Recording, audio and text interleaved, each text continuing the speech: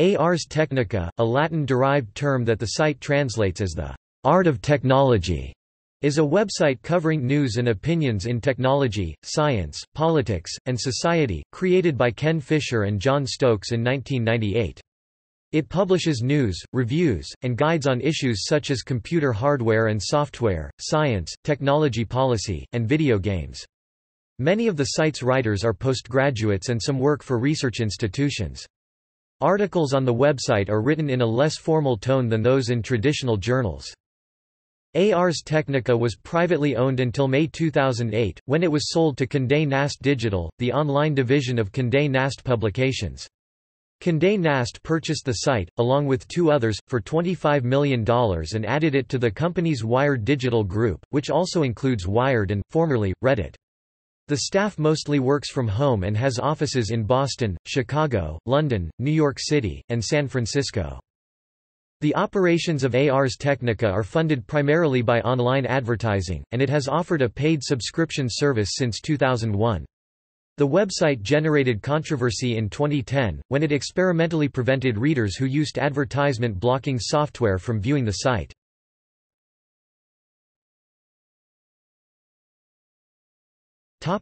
History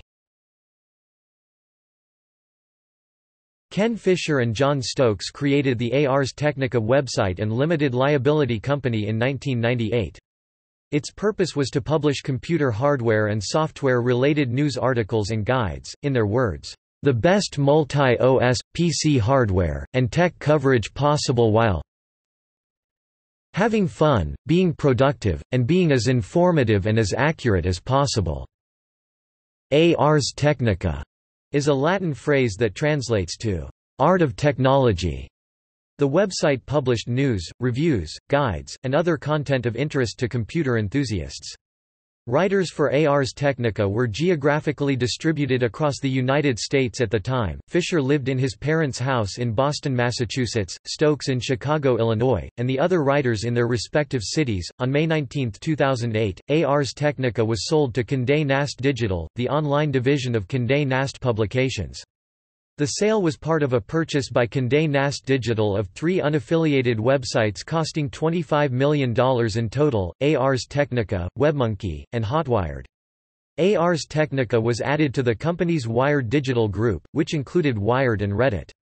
In an interview with The New York Times, Fisher said other companies offered to buy Ars Technica and the site's writers agreed to a deal with Condé Nast because they felt it offered them the best chance to turn their hobby into a business. Fisher, Stokes, and the eight other writers at the time were employed by Condé Nast, with Fisher as editor-in-chief. Layoffs at Condé Nast in November 2008 affected websites owned by the company, across the board, including Ars Technica. On May 5, 2015, Ars Technica launched its United Kingdom site to expand its coverage of issues related to the UK and Europe. The UK site began with around 500,000 readers and had reached roughly 1.4 million readers a year after its launch. In September 2017, Condé Nast announced that it was significantly downsizing its Ars Technica UK arm, and laid off all but one member of its permanent editorial staff.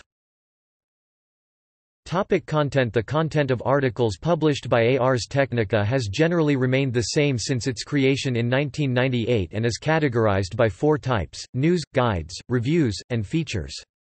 News articles relay current events.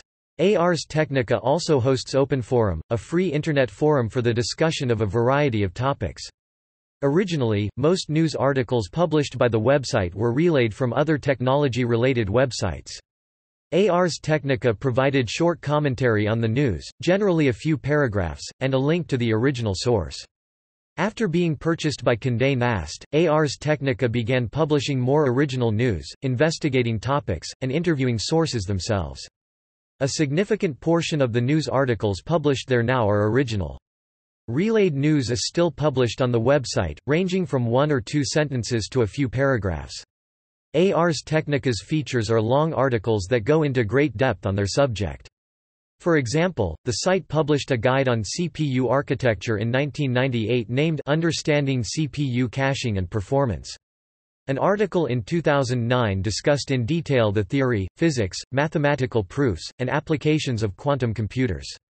The website's 18,000-word review of Apple Inc.'s iPad described everything from the product's packaging to the specific type of integrated circuits it uses. Ars Technica is written in a less formal tone than that found in a traditional journal. Many of the website's regular writers have postgraduate degrees, and many work for academic or private research institutions. Website co-founder Jon Stokes published the Computer Architecture textbook Inside the Machine in 2007. John Timmer performed postdoctoral research in developmental neurobiology. Until 2013, Timothy Lee was a scholar at the Cato Institute, a public policy institute, which republished Ars Technica articles by him. Biology journal Disease Models and Mechanisms called Ars Technica a conduit between researchers and the public in 2008. On September 12, 2012, Ars Technica recorded its highest daily traffic ever with its iPhone 5 event coverage. It recorded 15.3 million page views, 13.2 million of which came from its live blog platform of the event.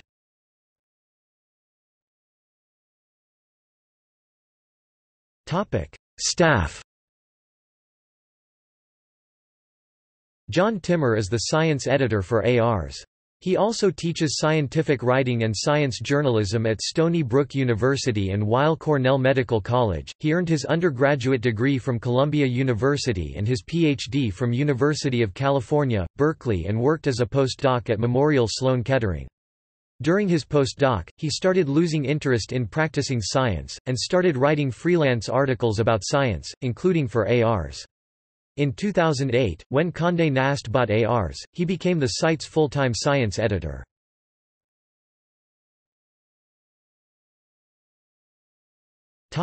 Revenue The cost of operating Ars Technica has always been funded primarily by online advertising. Originally handled by Federated Media Publishing, selling advertising space on the website is now managed by Condé Nast. In addition to online advertising, Ars Technica has sold subscriptions to the website since 2001, now named Ars Premier Subscriptions. Subscribers are not shown advertisements, and receive benefits including the ability to see exclusive articles, post in certain areas of the Ars Technica forum, and participate in live chat rooms with notable people in the computer industry. To a lesser extent, revenue is also collected from content sponsorship. A series of articles about the future of collaboration was sponsored by IBM, and the site's Exploring Data Centers section is sponsored by data management company NetApp. In the past, Ars Technica collected shared revenue from affiliate marketing by advertising deals and discounts from online retailers, and from the sale of Ars Technica branded merchandise.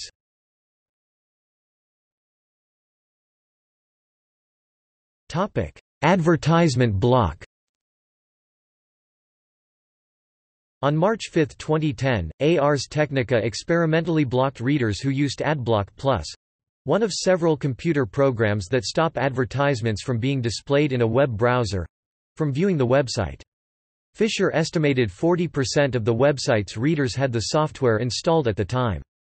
The next day, the block was lifted, and the article, Why Ad Blocking is Devastating to the Sites You Love, was published on Ars Technica, persuading readers not to use the software on websites they care about. Blocking ads can be devastating to the sites you love. I am not making an argument that blocking ads is a form of stealing, or is immoral, or unethical. It can result in people losing their jobs, it can result in less content on any given site, and it definitely can affect the quality of content. It can also put sites into a real advertising death spin. The block and article were controversial, generating articles on other websites about them, and the broader issue of advertising ethics. Readers of Ars Technica generally followed Fisher's persuasion. The day after his article was published, 25,000 readers who used the software had allowed the display of advertisements on Ars Technica in their browser, and 200 readers had subscribed to Ars Premier. In February 2016, Fisher noted, that article lowered the ad block rate by 12%, and what we found was that the majority of people blocking ads on our site were doing it because other sites were irritating them. In response to an increasing use of ad blockers, Ars Technica intends to identify readers who filter out advertisements and ask them to support the site by several means.